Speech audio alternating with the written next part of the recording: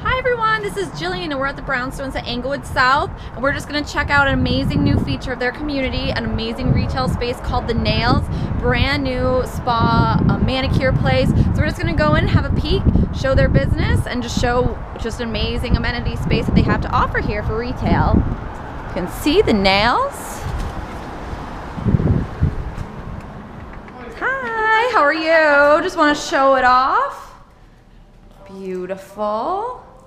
And you're the newest part of the Brownstone. so just wanted to show it off and say hi. Oh, you can be in. Thank you.